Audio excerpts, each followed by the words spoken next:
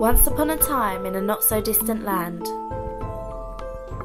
here once was a beautiful girl named Tinderella who was known to swipe left all day. Until she found a Prince Charming who was only a mile away.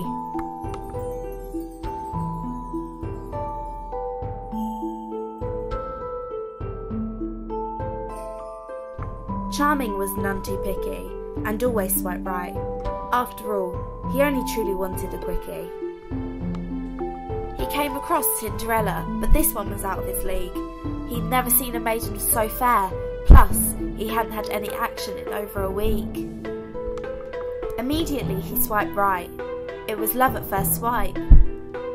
And so their courtship did blossom, they texted day and night. So, after much debate, he asked her out on a date. It was to the cafe that day. Does she go and find her true love, or does she stay at home?